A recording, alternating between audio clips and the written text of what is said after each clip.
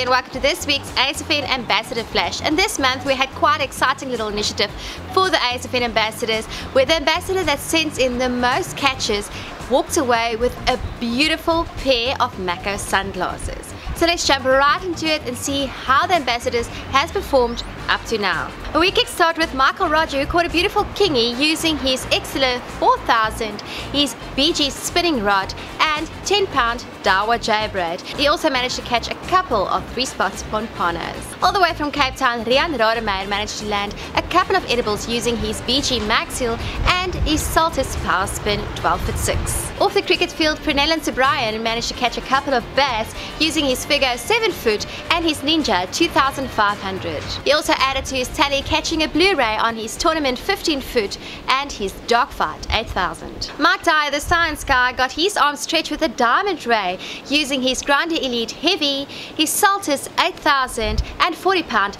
Daiwa J-braid. Mark Dyer further took part in the blue ray frenzy, catching them on his BG Spin 11 foot 6, his Daiwa BG Max Heel 4000 and 10 pound Daiwa J-braid. Up north, Dean Reddy managed to get stuck into Catface Rock Hard, a blacktip kingfish and yellowbelly rock hard. This was done in his Saltist Grande Elite 15 foot, his Saltist 6500 and 30 pound Daiwa J-braid. Then Linton Primlau came through with a diamond ray, a grey shark and a sandy. This is all caught on his Saltist 6500 30 pound Daiwa J-braid and his Grande Elite. Later on the month he added to his score with a Jenkins, Whip Ray and a Black Spot Shark. Mike Vilcek tallied up his score with a couple of blue rays using his Saltist 8 to 12 ounce and his Saltiga 40.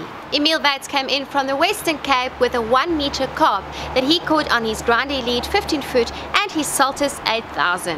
Jace Govender fishing the Kulner in Namibia caught some spotted gully sharks and an eagle ray. The eagle ray was caught on his tournament rod and his Dogfight 8000, while the spotted sharks were caught on his Saltiga 4500 and his Grande Elite lights. Andre got a couple of bronze bream off Umtentweni using his Saltist Power Spin 12 foot 6, his Saltiga 5000 and 30 pound Daiwa J-braid. Salvanatus Poseidon Simulator and his Saltist 30 produced him a beautiful bronze bream. Well, that wraps it up for this week's Ambassador News Flash. Good luck to all the ambassadors taking part in the Ambassador Challenge and remember to keep your catches coming to Grande Elite at asfn.co.za. Also remember that you can become part of the ASFN membership. Simply visit our website at www.asfnfishing.com. Remember to subscribe to the channels and to hit that little bell icon for notifications of when new content is getting loaded.